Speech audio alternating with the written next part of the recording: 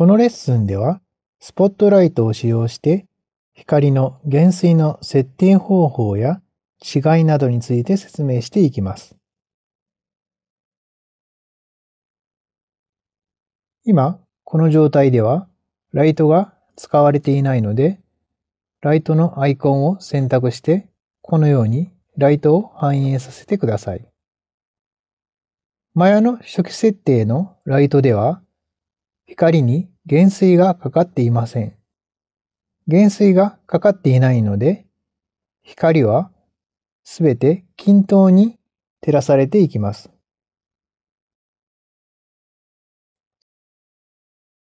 それでは実際の世界と同じように光の減衰を使用してリアルな光を作成してみましょう。光の減衰を変更するには、この減衰率の項目から変更が可能です。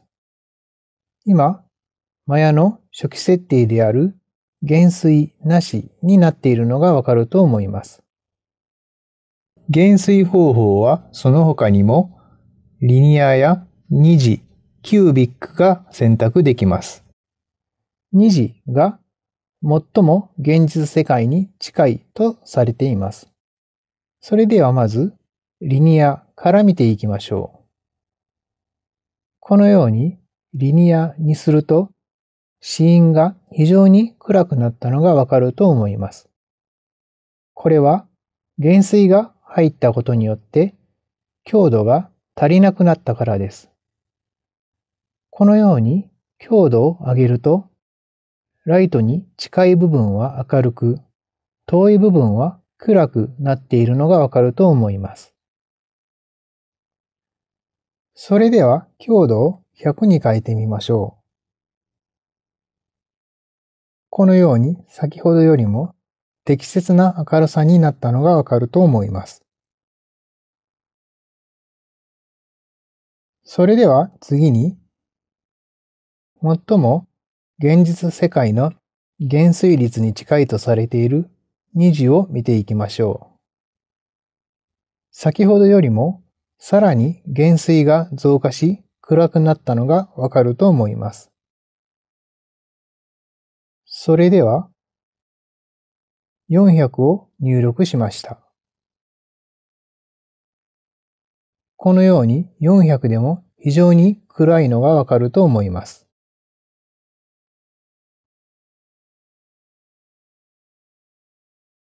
600を入れてもまだ非常に暗いので、ライトを近づけてみましょう。このようにライトを近づけると、近づけた部分は非常に明るくなりますが、減衰率が高いので、遠くの方は暗いままです。それでは最後にキュービックを見てみましょう。先ほどの2時よりもさらに暗くなったのがわかると思います。光の減衰は急速に始まります。このように1000の値を入れてもまだ暗いままです。しかしながらこのようにライトを近づけていくとライトに非常に近い部分は明るく遠くは黒くなっているのがわかると思います。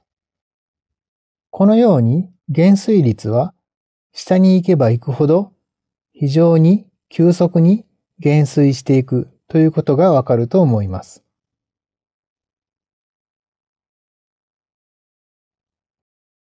皆さんもうまく減衰率を利用し、いいシーンを作成してください。このレッスンでは、スポットライトを使用して光の減数率の設定方法や違いなどについて説明しました。